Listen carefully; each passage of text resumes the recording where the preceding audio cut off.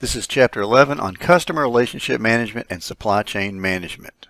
Basically, the first half of this chapter is on Customer Relationship Management, or CRM, and the second half is on Supply Chain Management, or SCM. The chapter opening case is about a company that delivers food online. Organic and Beyond Corporation is engaged in the cultivation, production, distribution, and home delivery service of organic food. For the company, B2C operations were more complex than B2B operations because of the number of orders. This affected their choice in how they delivered service and food to customers. Section 11.1 is about defining customer relationship management. Customer relationship management is an approach to managing a company's interaction with current and potential customers. It uses data analysis about customers' history with a company to improve business relationships with customers, specifically focusing on customer retention and ultimately driving sales growth. CRM, as the name implies, focuses on customers and managing relationships with them. Customers are the focus of the quality revolution that we have talked about in our theory section. CRM is most essential for small, medium, and large businesses. CRM is a customer-focused and customer-driven organizational strategy. Customer relationships have become less personal with the rapid growth of the Internet and the World Wide Web. Customer churn is the percentage of customers that will be lost over time, so we want to reduce customer churn. Customer touch points are a brand's points of customer contact from start to finish. For example, customers may find a business online in an ad, see ratings and reviews, visit its website, shop at its retail store, or contact its customer service. Here's a quote from Jeff Bezos, the CEO of Amazon. The best customer service is if the customer doesn't need to call you, doesn't need to talk to you, it just works. Data consolidation refers to the collection and integration of data from multiple sources into a single destination. During this process, different data sources are put together or consolidated into a single data store. Data consolidation offers a 360 degree view of customers. In other words, it is a complete view of each customer. Collaborative CRM is an approach to customer relationship management in which the various departments of a company, such as sales, technical support, and marketing, share any information they collect from interactions with customers. For example, customer feedback gathered from a technical support session could inform marketing staff about products and services that might be of interest to the customer. The purpose of collaboration is to improve the quality of customer service and as a result increase customer satisfaction and loyalty. Collaborative CRM systems provide effective and efficient interactive communication with the customer throughout the entire organization.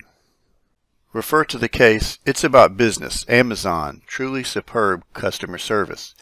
Amazon CRM systems described in the case are operational customer touching. All customers shopping from Amazon are required to create an account which makes it easier to make future purchases. These accounts also provide Amazon an opportunity for target marketing, i.e. customers can be emailed with offers and promotion based upon their past purchases. Amazon's basic CRM strategy has always focused on anticipation. Your chapter has another case. It's about business rating online customer service. Online feedback typically captures roughly 5% of customer interactions. Stella Service Inc is a privately held American information and measurement company with headquarters in New York City, New York. The company measures and rates the customer service performance of online companies in a process audited by global accounting and auditing firm KPMG. Stella Service entered into a partnership with Google to give companies a double mark of approval in the eyes of customers. Stella Service's business is B2B. Customer facing refers to the manner in which a business service feature is experienced or seen by a customer. A key customer relationship management component, a customer facing solution, is designed to deliver satisfying user experiences via all customer touchpoints. Many customer facing processes and technologies are significant business investment components with a strong influence on revenue generation. Customer-facing CRM applications are those services that interact directly with customers. Customer service is about providing value for customers by helping them make the most of products and services. Customer support is mostly about providing technical assistance to customers by helping them resolve any issues they have with products and services. Salesforce Automation is a customer-facing CRM application. A contact management system tracks all contacts that have been made with a customer the purpose of each contact, and any follow-up that might be necessary. Marketing refers to activities a company undertakes to promote the buying or selling of products or services. Marketing includes advertising, selling, and delivering products to customers or other businesses. One popular marketing technique is called upselling. This is a strategy in which the business person provides to customers the opportunity to purchase related products or services of greater value in place of or along with the customer's initial product or service selection. For example, you decide it's finally time to get a new TV. You go to Best Buy to check out your options. One of the Best Buy sales representatives points out that the largest TV they have is also the most amazing picture quality. Even though you didn't want a TV that big, you decide it's worth it for the better picture quality. The sales representative's technique is called upselling. Campaign management is the planning, execution, tracking, and analysis of a marketing initiative, sometimes centered around a new product launch or an event. Customer touching applications are those kinds of CRM applications that a customer can directly interact with and change without the involvement of another person. By contrast, customer facing applications may involve people. Here are some examples of customer touching applications. So you go online and you have the ability to search and compare products within a single company portal. You can also find technical or other information and services about a specific product such as a laptop battery. You can walk through to get products customized as when you buy a Dell computer. You may be familiar with FAQs or frequently asked questions. You may email the company and get an automated response. A loyalty program is a marketing strategy designed to encourage customers to continue to shop at or use the services of a business associated with the program. The purpose of a loyalty program is to influence future behavior. Section 11.3 is about analytical customer relationship management systems. Analytical CRM is a systematic approach to analyze customer data and interaction to improve business processes. Analytical CRM systems provide business intelligence. OLAP is a type of analytical CRM system. OLAP, or Online Analytical Processing, is the technology behind many business intelligence applications. OLAP is a powerful technology for data discovery, including capabilities for limitless report viewing, complex analytical calculations, and predictive what-if scenario planning, such as we use in budgeting and forecasting. OLAP is an important technology in analytical CRM systems. Section 11.4 is about other types of customer relationship management systems. Your book lists four. First is on demand. On demand means that a provider makes software available for customers who can then have the software modified according to their current demand or requirements. This involves flexible licensing business models based on the number of users or the data volume. CRM on demand is a solution that is made available by a software manufacturer via the Internet. The CRM system is hosted in a high security data center and can also be used via the Internet or to be more precise with a web browser. The problem with on-demand CRM systems is that they may be difficult to integrate with existing software. Salesforce is the best known on-demand CRM vendor. Third, mobile CRM systems involve interacting directly with customers anywhere at any time. On-premise CRM systems are purchased as is and then installed on-site. Open source CRM systems provide source code available to developers and users. The problem with open source CRM systems is quality. In It's About Business Mobile CRM and Disney World, Disney implemented a mobile CRM system. Magic bands are plastic bracelets that contain RFID radios. They form the central part of the My Magic experience, providing a way for the system to connect data to guests. Customers wear their Magic Band on their wrists. This colorful wristband is an all-in-one device that connects customers to vacation choices. Magic Band enables customers to travel lighter throughout the vacation, enter parks, unlock hotel rooms, and buy food and merchandise. Magic Band also gives you FastPass access to experiences customers choose online. Basically, FastPass allows customers to cut in line for certain rides that they prioritize. Magic Bands allow the company to distribute special personalized surprises throughout the Walt Disney World Resort. Disney produces a digital keepsake allowing customers to see all their memories the company captured via images during the visit. The major issue with Disney's My Magic is privacy. UShip is the focus of another case it's about business. UShip benefits from Sugar CRM. UShip Incorporated is an Austin, Texas based internet company that operates uship.com, an online marketplace for shipping services. Individuals and businesses post items they need shipped in a variety of categories, including auto transport, boat shipping, moving services, and the transport of heavy industrial equipment.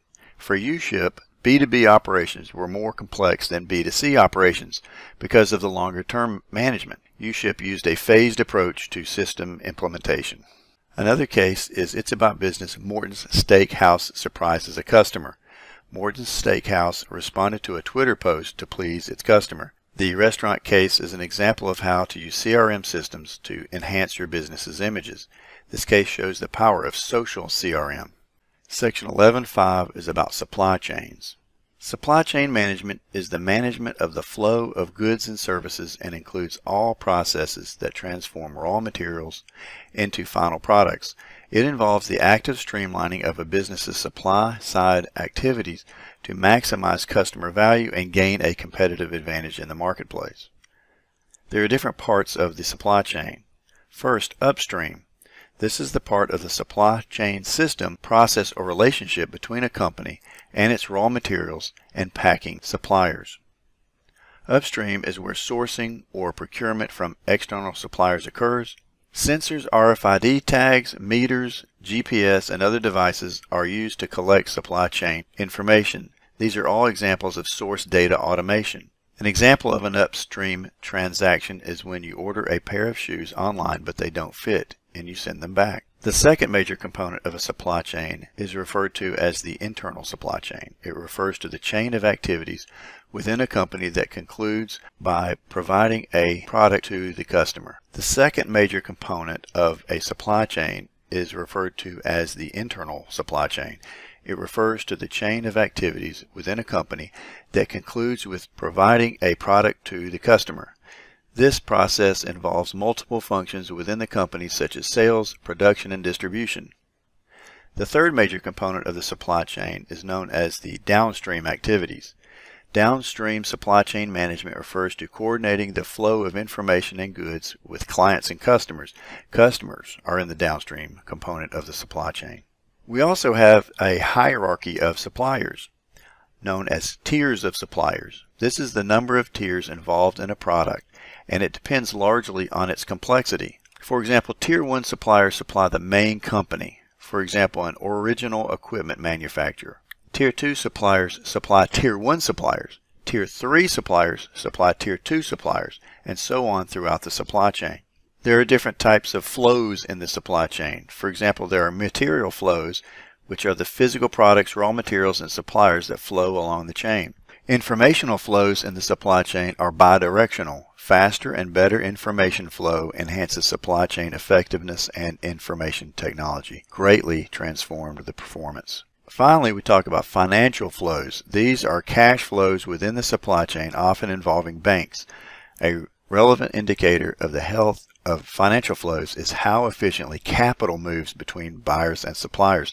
Slow moving capital, much like slow moving inventory, creates unnecessary costs and inefficiencies in the supply chain. Section 11.6 summarizes supply chain management, which, according to your book, involves five phases. These phases are planning, sourcing, making, delivering, and returning. For example, in the plan component of SCM, the organization should come up with a strategy for managing all the resources that go toward meeting customer demand for the product or service. In the deliver component of SCM, the organization should manage the logistics process. These activities are often done between organizations, and we call systems that support supply chain management interorganizational information systems, or IOS. This is a system between organizations or shared information systems among a group of companies. The most common form of inter-organizational system is electronic data interchange, which permits instantaneous computer-to-computer transmission of or information. We'll talk about EDI later. Your book talks about the difference between the push model versus the pull model.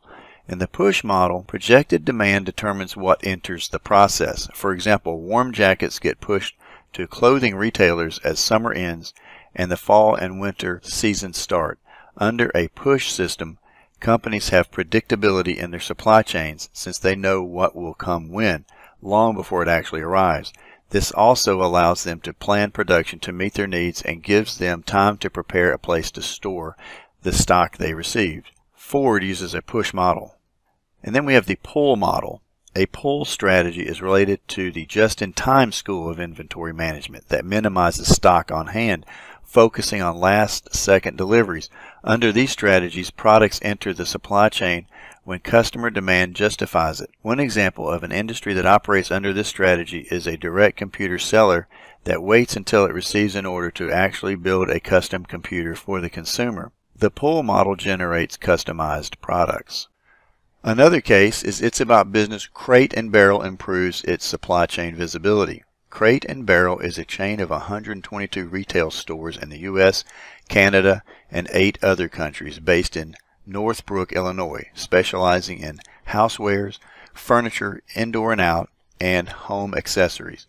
Supply chain visibility, or SCV, is the ability of parts, components, or products to transit to be tracked from the manufacturer to their final destination. The goal of SCV is to improve and strengthen the supply chain by making data readily available to all stakeholders, including the customer. SCV enhances supply chain flexibility. Purchasing ability is an e-commerce opportunity for Crate and Barrel. Your book also describes problems along the supply chain. Primarily, the bullwhip effect is a distribution channel phenomenon in which forecasts yield supply chain inefficiencies. It refers to increasing swings in the inventory in response to shifts in customer demand as one moves further up the supply chain. As you can see from the diagram, the bullwhip effect means that there's more volatility downstream and that volatility is caused upstream in the supply chain. This section also talks about two basic solutions to supply chain problems. First is using inventories to solve supply chain problems. Undoubtedly, the most common solution to supply chain problems is building inventories as insurance against supply chain uncertainties. Whereas building inventories can be more expensive to store and warehouse, in these situations it is viewed as being advantageous. Another strategy is information sharing, which is one of the key aspects of coordination amongst parties in the supply chain. Supply chain efficiency is highly important as today's competition is no longer between companies, but between supply chains. Information sharing can increase supply chain efficiency by reducing inventories and smoothing production. Section 11.7 is about IT support for the supply chain management process. There are two basic technologies that your book talks about. First is electronic data interchange. I mentioned this earlier. EDI is the concept of businesses electronically communicating information that was traditionally communicated on paper, such as purchase orders and invoices. Technical standards for EDI exist to facilitate parties transacting such instruments without having to make special arrangements. EDI is a communication standard that enables business partners to exchange routing documents electronically. Initial investment is a limitation of EDI. The Berlin airlift is the earliest known application of EDI. You can think of EDI as a computer-to-computer -computer email that makes transactions without human involvement. The second major technology that supports supply chain management is an extranet. An extranet is a controlled private network that allows access to partners, vendors, and suppliers or an authorized set of customers, normally to a subset of the information accessible from an organization's intranet.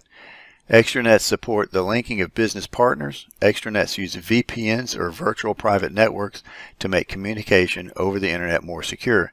VPN allows you to work from home. You can relate to extranets because Banner and Canvas are both extranets. Extranets can support distribution portals that automate the business processes involved in selling or distributing products from a single supplier to multiple buyers. Another case is It's About Business, India's new automotive supply chain extranet. India's automotive supply chain issues were resolved with the implementation of an extranet. India's OEMs, or original equipment manufacturers, paid for the supply chain extranet. The main benefit of India's new automotive supply chain extranet is efficiency. In the chapter Closing Case, Super Retail Group addressed the issues resulting from its growth in sales volume and brand strength by implementing an SCM system. Super Retail Group used a pilot approach to system implementation. This concludes Chapter 11. Thank you.